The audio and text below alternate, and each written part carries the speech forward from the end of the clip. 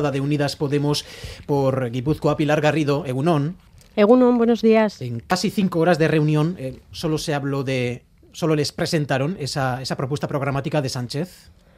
Pues sí, eh, realmente lo que unieron es con un programa, un programa más que un, documento para acordar, parecía un programa ¿no? para unas futuras elecciones generales con una posición inamovible que es la que ya conocemos, que no hay ni primera, ni segunda, ni tercera, ni cuarta vía, solo hay una única vía, que es la de querer conformar un gobierno en solitario cuando las urnas no han dicho, hecho, no han dicho eso y nos han dicho que, que hay que compartir el poder y que por lo tanto hay que conformar gobiernos de coalición. Uh -huh. ¿No hay mayor problema con el, con el programa que, que presentó Sánchez en su día? No, bueno, eh, eso habría que negociarlo. Eh, yo creo que hace falta tiempo y, y negociadores y personas expertas de, de, de los dos partidos políticos para, para llegar a, a, un programa en común. El último documento que, que ha hecho tras reunirse eh, pues varias semanas con la sociedad civil, pues deja mucho que desear. No solo lo digo yo, no solo lo dice Unidas Podemos, sino que la propia sociedad civil pues lo ha dicho. Yo creo que los únicos que han aplaudido ese programa ha sido la COE, que es sociedad civil, pero bueno. Eso se puede negociar el programa y se puede negociar el tema de los cargos.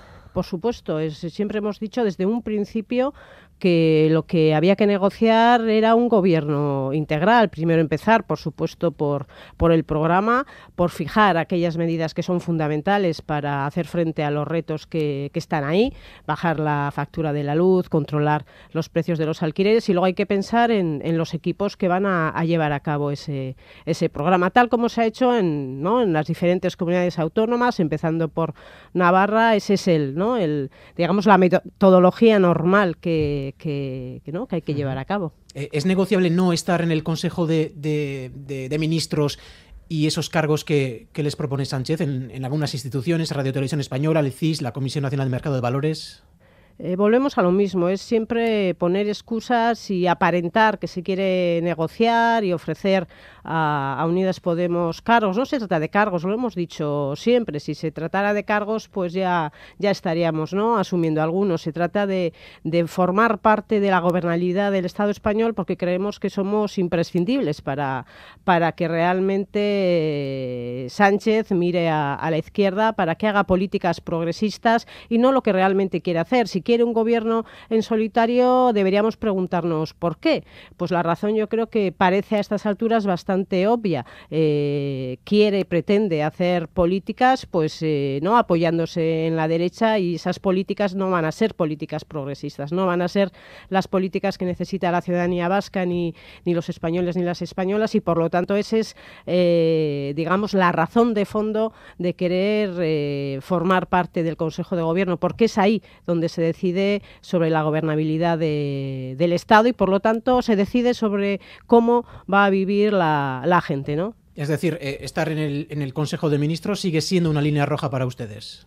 No, yo no hablaría de, de, líneas rojas. En este caso, lo que sí decimos es que alguien que, que, va a unas elecciones generales, que saca 123 escaños, que está muy lejos de esa mayoría absoluta, no puede empeñarse en, en, en gobernar en solitario. Y es más, no puede estar constantemente poniendo excusas. Eh, Pedro Sánchez eh, no dice la verdad, dijo en su momento, si Pedro, perdón, si Pablo Iglesias se retira, ese es el último, el único escollo y por lo tanto, pues eh, podríamos avanzar en la conformación de ese gobierno de coalición. Pues bien, Pablo Iglesias dio un paso atrás y hemos visto que, que sigue poniendo excusas a, a, ese gobierno de coalición, que es, como digo, el, el que es eh, razonable para, para afrontar ¿no? los retos que tiene, que tenemos todos y todas. Pero asumir algún ministerio es, es lo mínimo que ustedes plantean.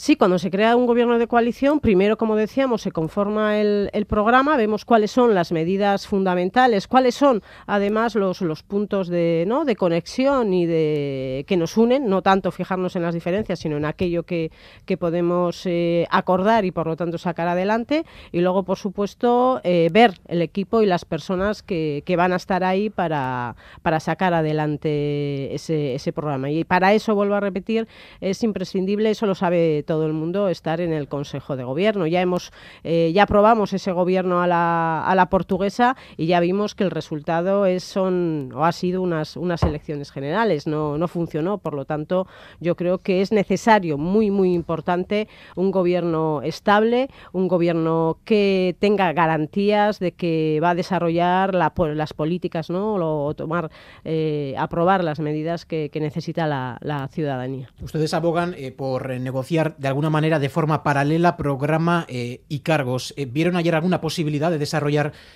una posible negociación en esos términos?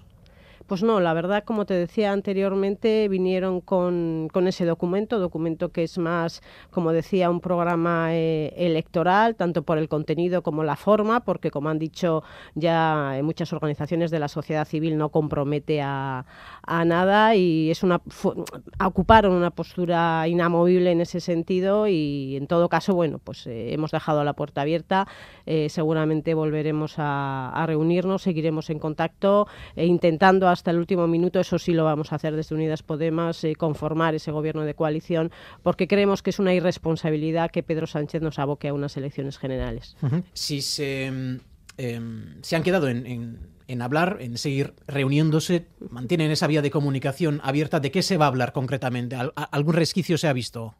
Sí, ¿eh? seguiremos hablando de, la necesidad de, que en España se conforme un, gobierno de, coalición, un gobierno progresista, un gobierno estable, un gobierno fuerte que, tome las medidas eh, necesarias y urgentes que necesita ¿no? la gente. Eh, eso es lo que hemos defendido desde el principio y, ahí yo creo que nos podemos poner de acuerdo. Siempre lo hemos dicho también, estuvimos cerquita de llegar a ese gobierno de coalición. ¿Por qué no llegamos? Sobre todo, mi opinión es que no llegamos porque en 40 48 horas es imposible conformar un gobierno de coalición. Si hubiéramos tenido más tiempo, seguramente hubiéramos conformado ese gobierno. ¿Y por qué? ¿Por qué? La pregunta es ¿por qué no retomamos eh, las negociaciones en ese punto? Es decir, retomamos las negociaciones en ese punto y avanzamos sobre lo ya construido. Eso sería lo que nos dice además el sentido común. Eh, quedan apenas 17 días naturales para, esa disolución automática de las Cortes. ¿Usted ve posible un acuerdo en esos términos de gobierno de coalición después de la reunión de ayer? Eh, no quiero cerrar la puerta, como decía, y Unidas Podemos va a trabajar de manera eh, constante, sin descanso, en estas tres semanas para que eso sea posible. Vamos a seguir teniendo esa mano tendida para, conformar ese, ese, gobierno que, como digo, es el que ha salido de las urnas. Es eh, impensable en cualquier otro contexto, si tú es en cualquier comunidad autónoma en cualquier Estado europeo, que un gobierno que está lejos de esa mayoría absoluta quiera imponer un gobierno en en solitario. Lo que tiene que hacer eh, Pedro Sánchez es eh, conformar y acordar no solo con Unidas Podemos, sino con el resto de fuerzas políticas para sacar adelante esa investidura, cosa que no ha hecho, excepto esas 48 horas de, negociaciones, pues bueno, ha estado mareando la pérdida sin realmente sentarse a, negociar. Eso en cuanto a la agenda pública, ¿ha mantenido contactos con, otros eh, partidos que ya han mostrado su disposición a apoyar un, hipotético acuerdo entre Unidas Podemos y Partido Socialista? Eh, que ha mantenido quien eh, Unidas eh, Ustedes sí, Unidas Podemos con, no sé, eh, en el ámbito, digamos, de, en el ámbito de, ¿no? del trabajo parlamentario, bueno, hemos tenido ¿no? contactos, reuniones, en el sentido de que, bueno, pues comentamos, hablamos y, y, opinamos sobre lo que está sucediendo y la, yo creo que lo que se palpa, la idea general de la mayoría de las fuerzas políticas es que no sabemos en qué anda Pedro Sánchez, ¿no? Ha pasado todo el mes de agosto, ya hemos empezado septiembre y por lo tanto, pues bueno, hay mucha preocupación, sobre todo porque no se sabe muy bien qué quiere hacer Pedro Sánchez, se empieza a dudar de que realmente quiere acordar algo y todos empezamos a sospechar que realmente lo que le interesa es ir a unas elecciones generales. Es que la republicana sí puso el foco en esas palabras de, Pablo Iglesias cuando decía que, que no estaba dispuesto a, humillar a sus, eh, a sus votantes. Hombre, yo creo que, no hace falta casi ni, explicarlo. Eh, eh, Pablo Iglesias eh, fue vetado por Pedro Sánchez, tuvo que dar un paso atrás y estamos hablando del líder de, la fuerza política que ha sido elegido por los ciudadanos y por las ciudadanas y que se ve obligado para ¿no? posibilitar ese gobierno de coalición a, a echarse a un lado. Es algo realmente que desde el punto de vista de la cultura democrática deja mucho que desear sea, que en ese sentido sí que es verdad que Pedro Sánchez, pues bueno, ha, adoptado siempre una postura, pues vamos a decir, no ya no que no es tan importante, poco respetuosa con Unidas Podemos, sino con los casi 4 millones ¿no? y más de 200.000 vascos y vascas que, que nos han apoyado.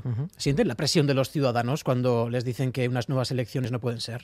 Por supuesto, por supuesto. Por eso decimos y seguimos eh, pensando que es una irresponsabilidad ir a elecciones generales porque la ciudadanía no quiere ir a unas elecciones generales. Y en la mano de Pedro Sánchez está hacer lo que ha hecho el Partido Socialista en la mayoría de, ¿no? o en muchas de las comunidades autónomas donde está eh, gobernando en, en, coalición. ¿Por qué lo ha hecho en, en, esas comunidades autónomas y por qué no quiere hacerlo en el, en el Estado? ¿Por qué no quiere Pedro Sánchez que Unidas Podemos en el gobierno? Pues bueno, yo creo que, la respuesta está bastante a estas alturas, bastante clarita y tiene que ver con que realmente eh, no quiere hacer políticas progresistas y si se queda solo, pues mirará a la derecha, buscará el apoyo de, Ciudadanos, como viene haciendo en los últimos meses, y ahí perderá, no Unidas Podemos, perderá la ciudadanía, que es lo importante. ¿Tiene fecha eh, para algún próximo encuentro con el Partido Socialista? No, no, no hay fecha. Eh, se salió con, con, la idea de seguir trabajando, de seguir en contacto, de, de volver a reunirse, pero no, no, no hay fecha. Uh -huh. hoy, hoy, hoy por hoy no hay fecha. Pues Pilar Garrido, diputada de Unidas Podemos por Guipúzcoa. Es que ricasco, gracias por estar en Radio Euskadi. Vale, es que ricasco, Sui.